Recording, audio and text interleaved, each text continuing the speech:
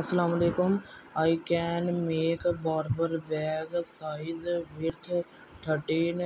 height 16 cloth is the katura with logo